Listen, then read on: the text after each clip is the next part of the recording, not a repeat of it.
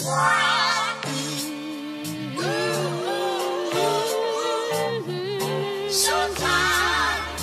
this video, I'm going to tell you guys how I did the coolant overflow reservoir. It's uh, pretty simple. The first step is to find a bottle. It can be any bottle that you want.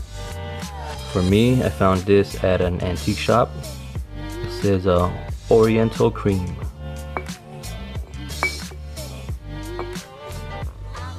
The second step is to make a box for your bottle.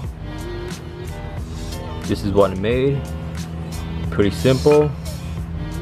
Take that, put the bottle in, bam.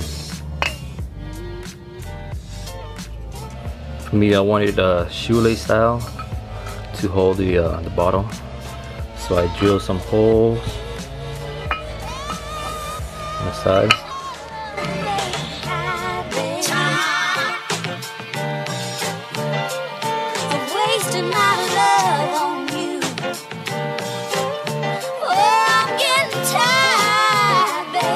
Next you want to make a bracket for your box. And then you go ahead and mount your box.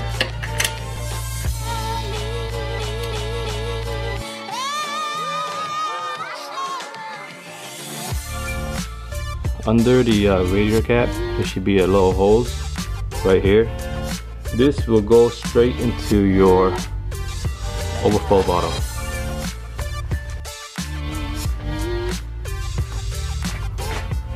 See, this one running all the way down into your bottle.